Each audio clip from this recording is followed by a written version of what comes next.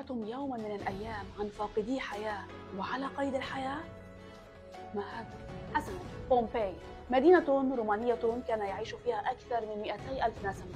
كانت تقع عند سفح جبل بركان فيزوف الذي يرتفع ب 1200 متر عن سطح البحر بالقرب من خليج نابولي الإيطالي كانت تنعم بترف وغنى ومنحها الله عز وجل شتى أنواع النعم. فالأرض كانت تعطيهم أفضل المحاصيل الزراعية والسماء كانت تغدق بمائها عليهم. كان أهل بومباي يمتلكون ثروات طبيعية ربما لم يحلم بها غيرهم على وجه الأرض.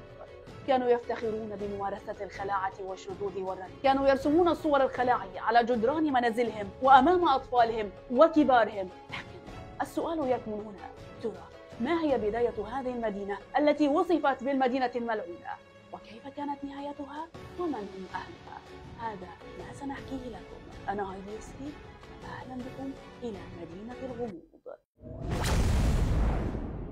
شهدت بومباي نهضة كبيرة وأقبل الأثرياء على تعميرها واصطفاها الرومان الباحثون عن منتجع للراحة والاستجمام. تحول ملاكها الفقراء إلى طبقة ثرية جديدة وأجادوا الدعاية لبلدهم. لما تتمتع به هنا من طبيعة ساحرة كما كانوا فخورين للغاية بأناقة مدينتهم وببيوتهم ذات الطابع المعماري الروماني بشكل خاص والذي لا تخطئه العين. في الرابع والعشرين من أب أغسطس عام 79 للميلاد لاحظ سكان بومباي ظهور ما يشبه سحابة داكنة فوق قمة جبل فيزوف لكن سكان المدينة أهملوا تلك العلامة الدالة على قرب الانفجار. والأدهى من ذلك بل لم يستجيبوا لدعوة الإمبراطور الروماني نيرون بترك المدينة علما بأن نيرون كان قد حضر العروض المسرحية في المدينة لمدة عشر سنوات كاملة. بأمر إمبراطوري كعقاب عام جزاء قيام البعض بأعمال الشغب والتظاهر في شوارع تلك المدينة. وهنا اجتمع سكان بومبي في المسرح كي يشاهدوا انفجار البركان. خاصة أنهم شاهدوا من هذا البركان خيرا كثيرا. فالتربة الغنية بالمعادن لنقل هي التي جعلت زراعتهم مثمرة للغاية وأغدقت عليهم مياه الأمطار التي كانت ترويهم وتسقي زروعهم التي كانت بسبب وجود ذلك الجبل البركاني وقبل الانفجار. حدث ما لم يكن في حسبان حدثت هزات أرضية جفت بعدها الآبار وتوقفت العيون المائية وصارت الكلاب تنبح نباحا حزينا فيما صمتت الطيور. ورغم كل هذه العلامات تجاهل السكان كل شيء. وعند منتصف النهار سمع سكان بومبي تلك الضجة الكبيرة وانفلقت الصخور واتجهت سحب من الدخان والرماد والغبار والأتربة صوب السماء.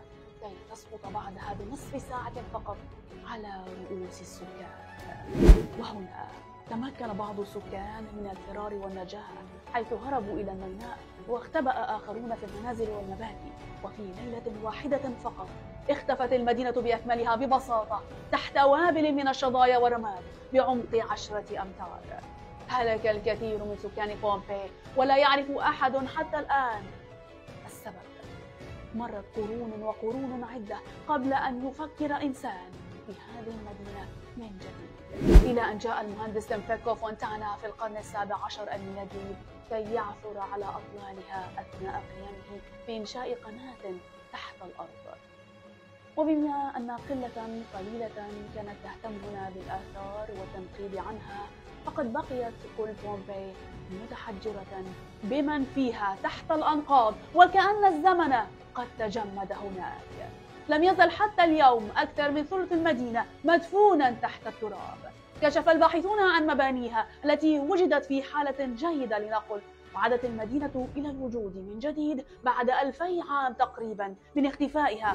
بل ووجد كل ما تركه أهلها وكأنه صنع بالأمس لأن الرماد البركاني عمل على حفظها بطريقة ما بطريقة لا تصدق حتى أن بعض بذور النباتات التي طال دفنها كانت لم تزل محفوظة وقام الباحثون بإعادة زرعها من جديد حتى يستطيع الزائر رؤية أحواض الزهور كما كان يراها أصحابها من قبل أصحابها الأصليون تماما بومبي مدينة بها حياة لكن توقف بها الزمن هل سمعتم يوما من الأيام عن مدينة بومبي التي فقد أصحابها حياتهم لكنهم ما زالوا على قيد الحياة؟